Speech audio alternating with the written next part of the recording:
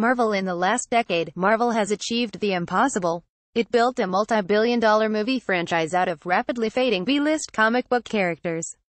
It transformed this franchise into a massive interconnected cinematic universe spanning 20 movies, which include the critical and commercial behemoth Black Panther.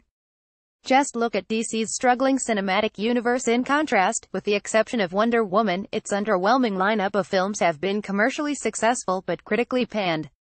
Advertisement, continue reading below but even though the rivalry between the two comic giants remains, DC's Aquaman director can't help but point out one of Marvel's greatest accomplishments.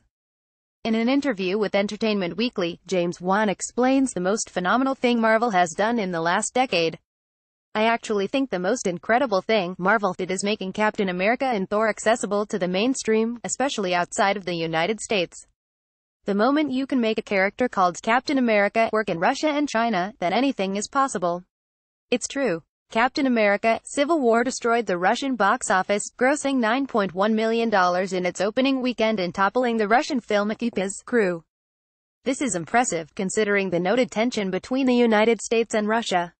How is it possible that a hero clad in stars and stripes, whose entire character is the personification of American patriotism, can succeed in a place like Russia? Honestly, it's surprising that Putin even allowed it to be played in theaters.